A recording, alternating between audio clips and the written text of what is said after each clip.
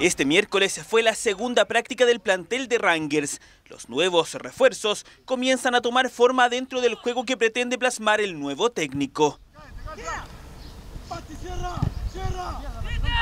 Leonardo Zamora asume este jueves la banca rojinegra. Mientras tanto, los primeros movimientos están bajo la mirada de su ayudante técnico. La verdad que nosotros conocíamos el plantel, lo veníamos viendo de varios partidos y ahora también hemos reafirmado ciertas cosas. También vimos varios juveniles que, han pasado al plantel. Así que da poco, o llevamos recién dos días entrenando. Eh, te mentiría si te dijera que el diagnóstico lo tenemos al 100 con los juveniles especialmente que no hemos visto, pero, pero sí hemos podido observar muchas cosas. Nosotros no podemos prometer nada, lo único que vamos a, reafirmar siempre es que el equipo va a buscar que la gente se identificado con ellos, que se siente identificado con el hincha, vamos a salir a entregar todo en todos los partidos y buscar siempre lo mejor. ¿Qué individualidades se pueden destacar hoy día y qué es lo que podría faltar según lo que ustedes han visto? Lo importante es el colectivo.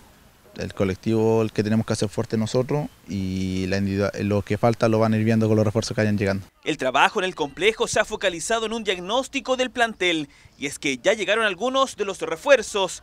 El lateral Diego Bravo viene de Copiapó, Luis Aguirre también de Copiapó, asumirá tareas como volante de contención y el defensa central Henry Sangüesa viene desde Barnechea me siento más cómodo cuando, cuando un técnico tiene la idea de, ataque, sobre todo para mí siendo lateral, creo que me gusta el tema de pasar al ataque y no, restringir un poco la pasada. Deja más espacio. Claro, también, y, te genera muchas muchas ideas de juego, te, da más libertad.